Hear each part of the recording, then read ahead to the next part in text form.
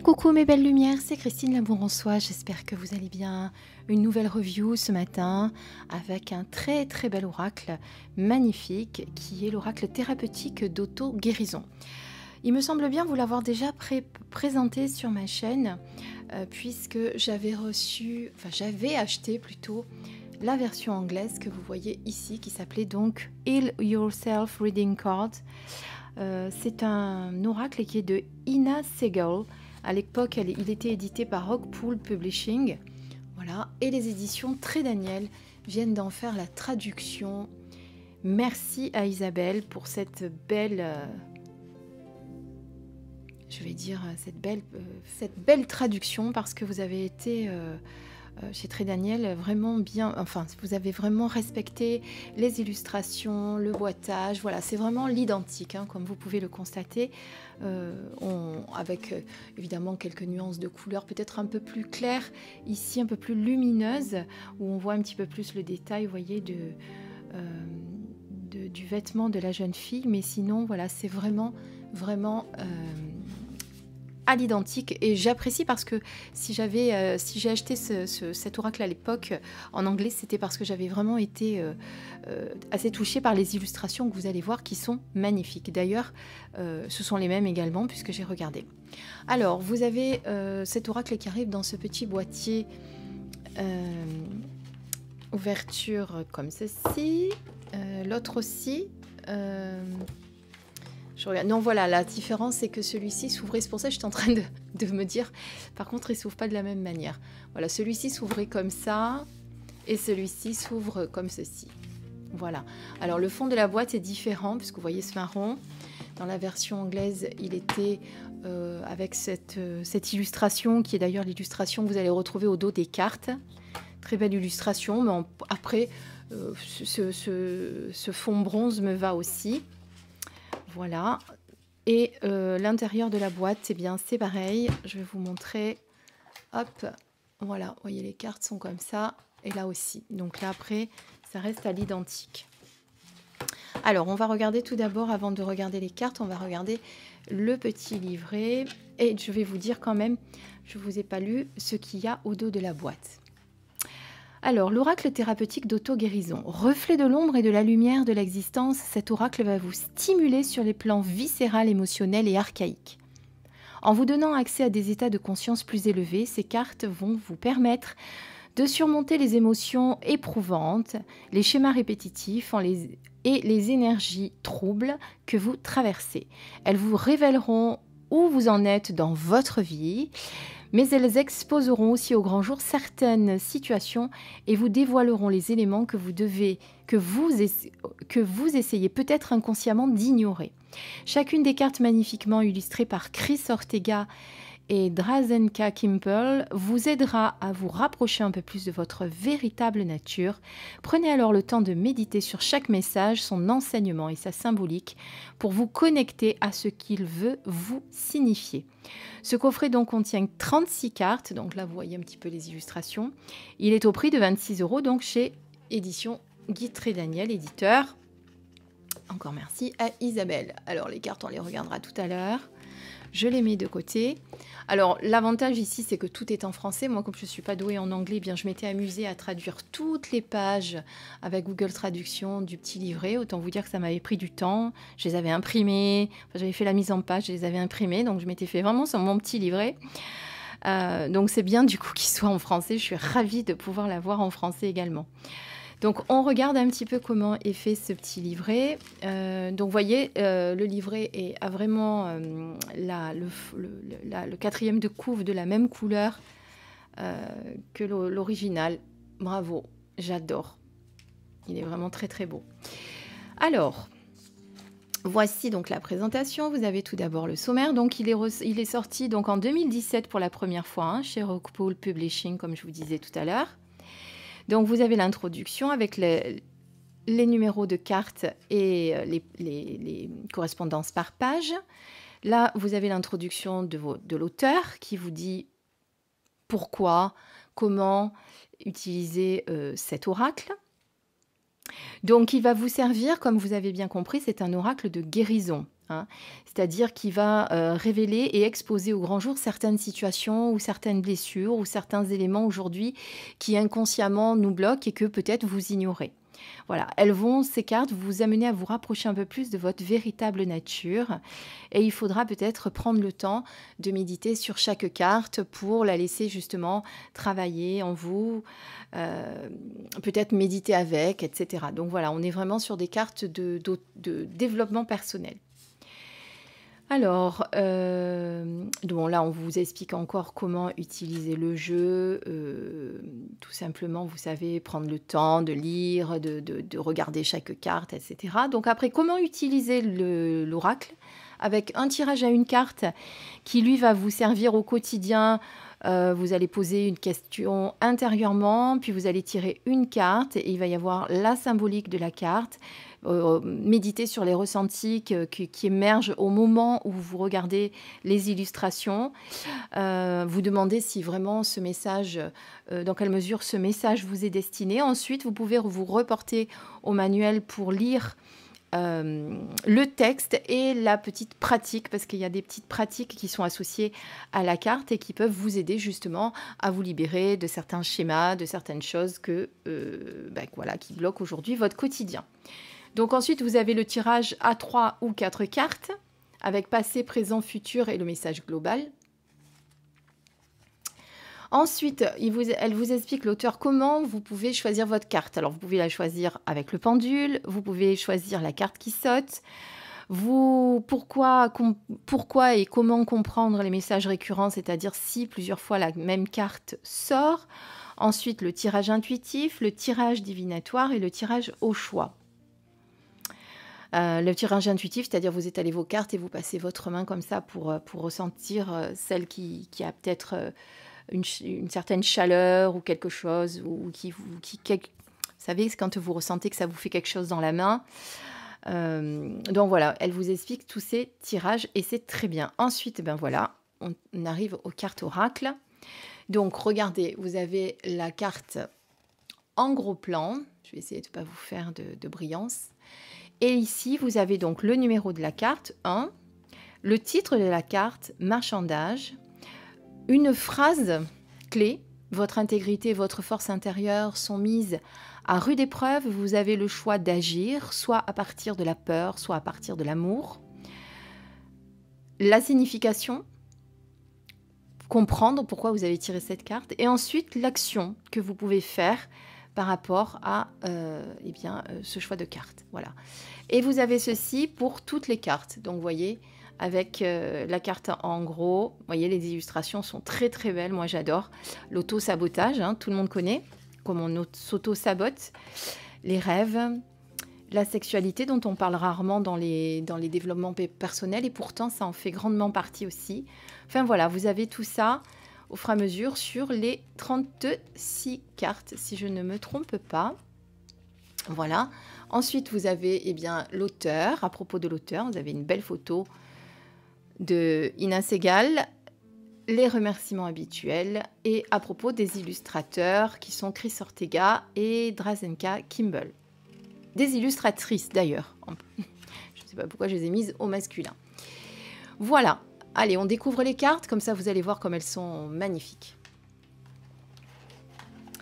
Alors, par rapport aux cartes, alors si vous voulez, après vous pouvez vous, pouvez enlever ce fond ou pas, hein, ça c'est vous qui choisissez parce qu'il s'enlève très facilement. Vous pouvez choisir un petit pochon et le mettre à l'intérieur pour conserver vos cartes. Ça c'est un choix personnel, dans l'autre aussi. Hein. Moi je ne l'avais pas fait, mais vous pouvez.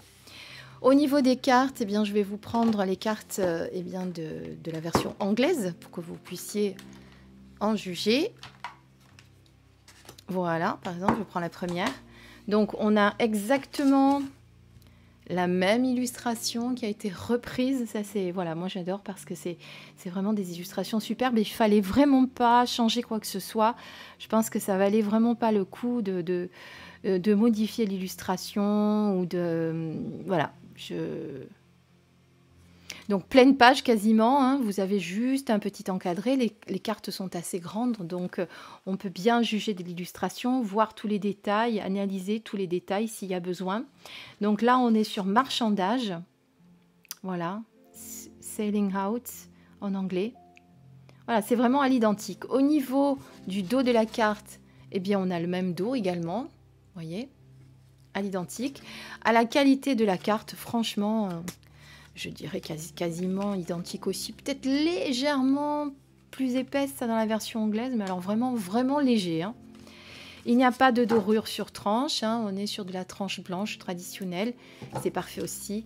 Et euh, vous voyez, la, la glisse est parfaite. Allez, on fait un gros plan et on va regarder les cartes. Je vous les mets comme ceci pour que vous puissiez bien les voir. Voilà. Donc vous allez reconnaître certaines blessures, certaines, euh, certains schémas qu'on a tendance à, avoir euh, en récurrence dans nos vies tous. Alors ce qu'on fera à la fin, on tirera une carte pour voir un petit peu euh, pour avoir l'énergie de la carte, que vous voyez un petit peu comment ça se passe.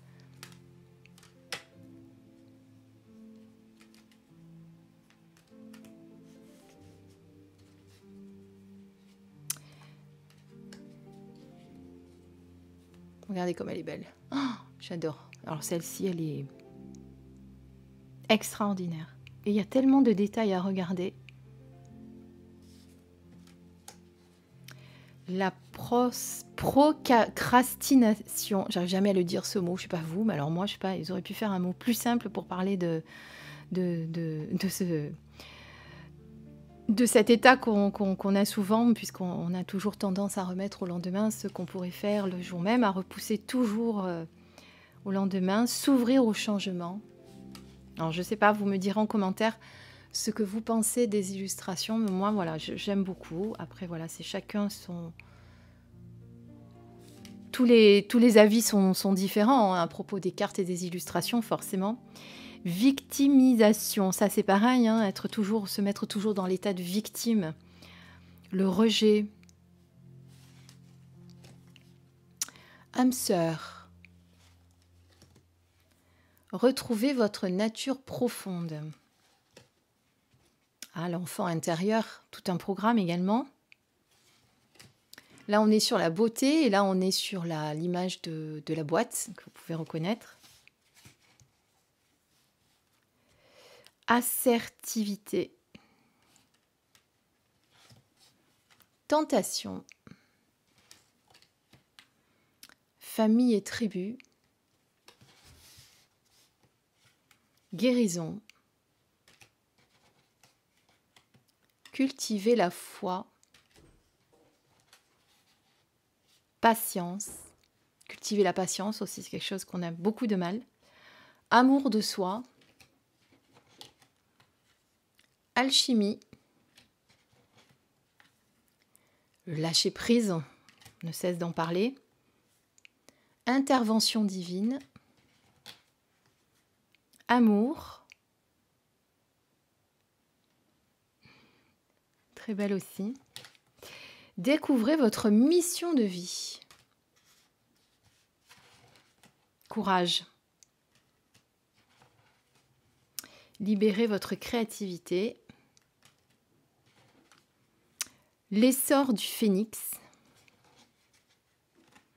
Sexualité sacrée. Impuissance. Foyer. Et la dernière, un trou dans l'âme. C'est marrant, j'aime beaucoup celle-là aussi. Dès, que c'est très fort en, illustration, en symbolique, j'aime beaucoup. Alors, ce que je vais faire, je vais couper la vidéo 5 secondes. Je vais mélanger, je reviens et je vais vous, euh, ben, je vais vous tirer une carte et on va lire le texte qu'il y a. voilà, euh, c'est parti, on découvre la carte. Et on est sur la magnifique carte enfant intérieur. Alors, la carte numéro 16, donc avec le numéro, on y va très vite. Alors, ce que vous pouvez faire déjà, comme vous a dit l'auteur, eh bien, vous pouvez regarder la carte, voir ce qu'elle vous inspire, ce qu'il en ressort, ce qui, euh, voilà, ce qui vous touche sur cette carte aussi, ce à quoi euh, ce que ça peut faire vibrer à l'intérieur. Regardez les détails, regardez le paysage autour, euh, regardez euh, l'expression de, cette jeune fille. Enfin voilà, voyez, vous avez pas mal de choses que vous pouvez, que vous pouvez faire dans un premier temps. Alors, je vous lis la carte. Votre enfant intérieur vous incite à être plus léger, à sortir de votre zone de confort et à vous amuser.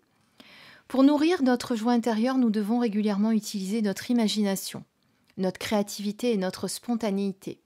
Quand avez-vous fait, quelque chose de spontané, d'impulsif et d'audacieux pour la dernière fois? Dans quelles circonstances et en présence de quelle personne vous vous sentez libre, détendu et totalement à l'aise d'être comme vous êtes Votre enfant intérieur peut être votre plus grand allié ou votre plus grand ennemi. Il peut vous aider à guérir des douleurs de l'enfance, les sentiments de rejet, de solitude et d'abandon. Il peut vous embarquer dans une aventure exaltante, vous aider à gagner en assurance et à devenir plus intrépide, plus authentique et plus courageux, ou au contraire vous inciter à vous comporter de manière puérile en nourrissant l'anxiété, la peur et la suspicion. Cette carte vous invite à guérir les douleurs de votre enfance et à explorer votre liberté, votre compassion, votre euh, créativité, vos talents et votre joie. Un enfant intérieur équilibré peut vous connecter à votre intégrité, à votre divinité, à votre nature profonde. Il croit au miracle et crée de la magie dans votre vie. Alors action, hein, parce que ça c'est important, parce qu'avec chaque carte, il y a une petite, une petite action à faire. Trouvez une photo de vous lorsque vous aviez entre 3 et 8 ans. Regardez-la. Que voyez-vous dans vos yeux d'enfant? Quelle est l'expression de votre visage? Si ce petit enfant pouvait parler, que vous dirait-il? Prenez du papier et avec votre main non dominante écrivez cher, votre nom, je me sens, etc. Donnez à l'enfant qui est en vous une chance de s'exprimer, puis adressez-vous à lui de manière aimante et bienveillante depuis l'adulte que vous êtes. Demandez à votre enfant intérieur ce dont il aurait besoin pour se sentir mieux. Laissez-vous inspirer par la guidance qu'il vous offre très belle action. Donc vraiment une belle action euh, où on va se connecter à notre enfant intérieur, on va même lui parler. Vous savez que vous pouvez lui parler, vous pouvez vous adresser à lui, vous pouvez euh, également le, rassurer, le cajoler. Euh, il y a beaucoup de choses qu'on peut faire quand on travaille avec son enfant intérieur. voilà, mais écoutez, je trouve que c'est très très bien fait. Moi, j'adore personnellement. Je pense qu'il va beaucoup m'accompagner et accompagner certaines personnes qui en auront besoin. Voilà, j'espère que cette euh, review vous a plu. Donc évidemment, comme d'habitude, les liens sous la vidéo pour pouvoir commander ce bel oracle si jamais vous avez été touché, vous aussi, par ces belles illustrations. Voilà, en attendant, bah, écoutez, je vous souhaite une belle soirée si vous regardez cette vidéo en soirée ou une belle journée. Et puis, euh, je vous dis à très très bientôt pour euh, une prochaine vidéo. Prenez soin de vous surtout et puis euh, à très très bientôt. Je vous embrasse.